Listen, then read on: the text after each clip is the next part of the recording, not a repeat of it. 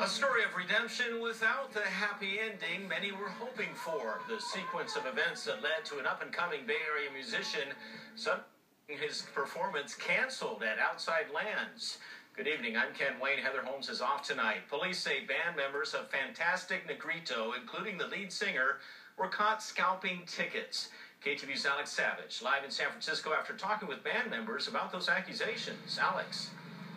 Yes, Ken, the lead singer here says he had nothing to do with illegally selling wristbands that were given to the band, but police say Fantastic Negrito and two others were cited for scalping today outside of this festival, and this run in with the law has cost this band from Oakland a chance to play on a very big stage.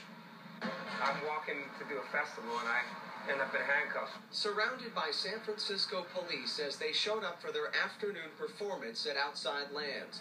Fantastic Negrito, whose real name is Xavier Dphrepaulezz, and two people with his band were detained by officers and cited for trying to sell non transferable wristbands for the festival. Right after that bust, the promoter canceled their set. I didn't think it was fair at all. It's just sad. A lot of people wanted to see us and we didn't